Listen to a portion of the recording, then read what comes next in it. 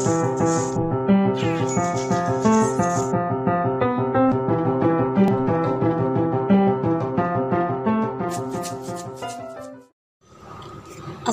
আলাইকুম।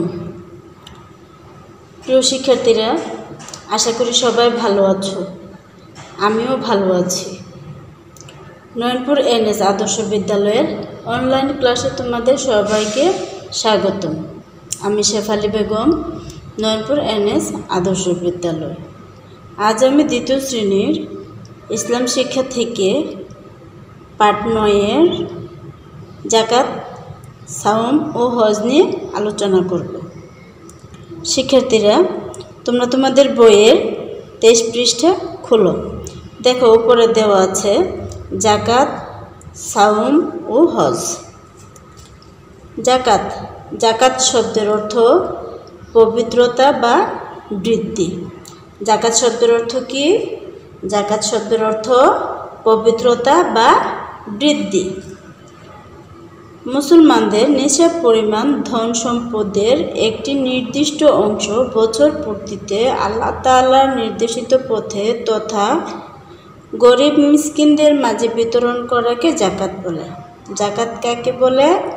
মুসলমানদের নিসাব পরিমাণ, ধন সম্পদের একটি নির্দিষ্ট অংশ বছর পূর্তিতে আল্লাহ তাআলার নির্দেশিত পথে তথা গরিব মিসকিনদের মাঝে বিতরণ করাকে জাকাত বলে। নিশা পরিমাণ সম্পদের চল্লিশ ভাগের এক ভাগ জাকাত দিতে হয়। কি পরিমাণ জাকাত দিতে হয়? সম্পদের চল্লিশ ভাগের এক ভাগ জাকাত দিতে হয়।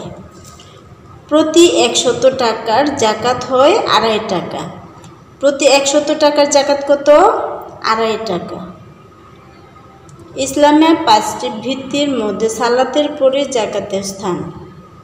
ইসলামের ভিত্তি পাঁচটির মধ্যে সালাতের পরে জাকাতের স্থান।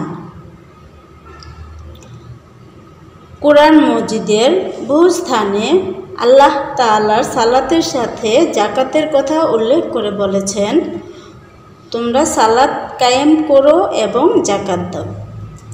কোরআন মসজিদের বহু স্থানে কী উল্লেখ করা আছে? বলেছে, তোমরা সালাদ কায়েম করো এবং জাকাত দাও। তারপর আছে সাউম। সাউম আরবি শব্দ। যার অর্থ বিরত থাকা বা আত্মসংযম। সাউম কি শব্দ? সাউম আরবি শব্দ। সাউম অর্থ কি?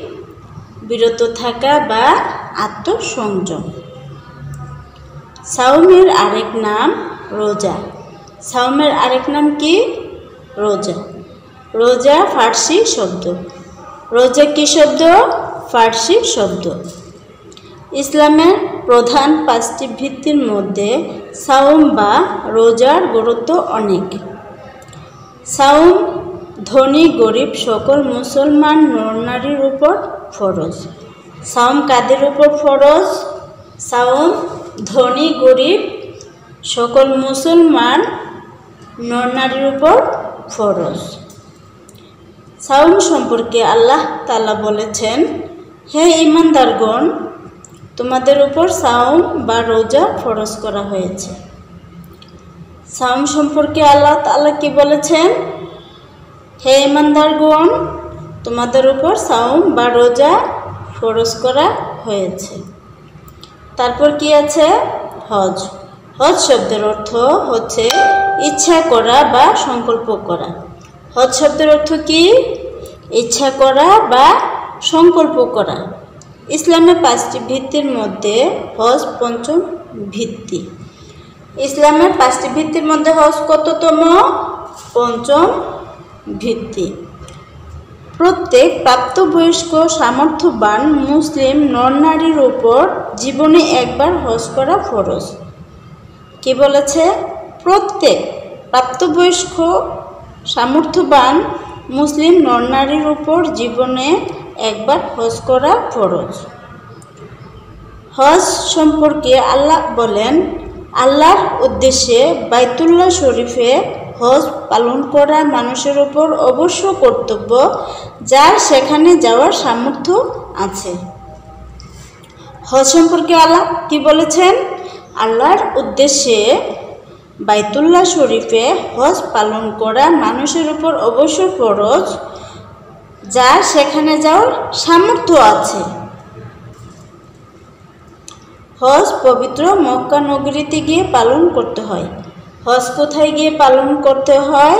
হজ পবিত্র মক্কা নগরীতে গিয়ে পালন করতে হয়। এই যে দেখো, এখানে একটা ছবি দেওয়া আছে। এই জায়গাটায় গিয়ে হজ করতে হয়, যেখানে গিয়ে হজ করে। শিক্ষার্থীরা এখন দেখো, এখানে কি দেওয়া আছে? দেওয়া আছে, শূন্যস্থান পূরণ করো। জাকাত শব্দের অর্থ দেশ।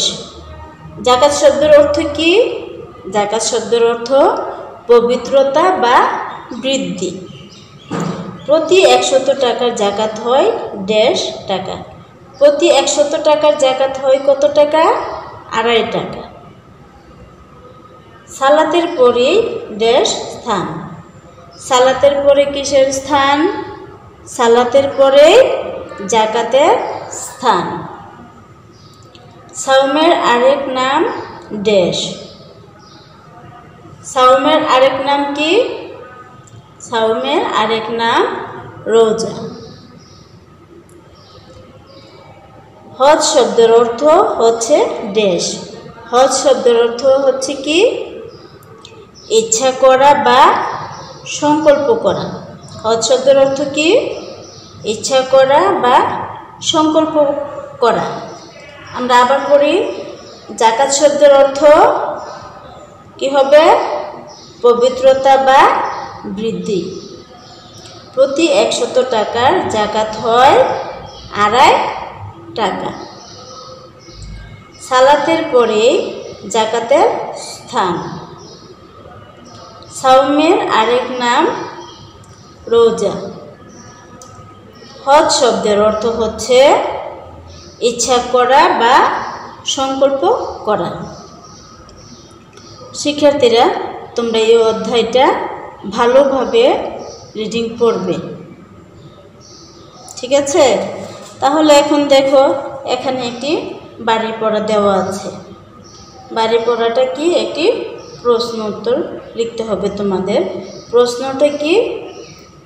সাউম শব্দের অর্থ কি? সাউম কাকে বলে? আবারও আমি বলে দিচ্ছি, প্রশ্নটা কি? সাউম শব্দের অর্থ কি? সাউম কাকে বলে? শিক্ষার্থীরা, তাহলে তোমরা বাসায় এগুলো ভালোভাবে পড়বে, আম্মাবুর কথা শুনবে ঘরের ভিতর থাকবে আর মনোযোগ সহকারে লেখাপড়া করবে।